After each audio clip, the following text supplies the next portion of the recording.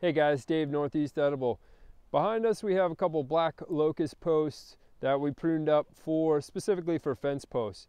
I had a question come in on about a recent video we did about how old these guys are. They're about a year and a half old and they're sprouting from the roots of this mother tree over here. Uh, you can see it right over there. Um, so yeah, th this is the, one of the root lines and that guy is sprouting.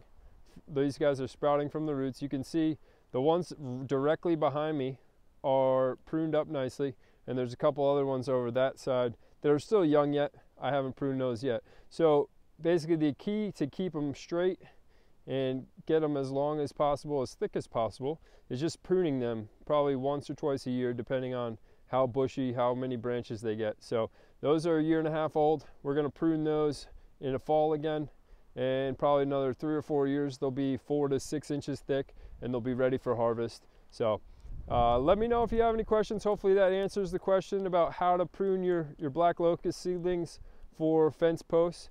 And uh, yeah, if you have any questions, you like these type of videos, subscribe. Check out northeastedible.com, Northeast Edible Nursery. We're in the midst of combining those two sites.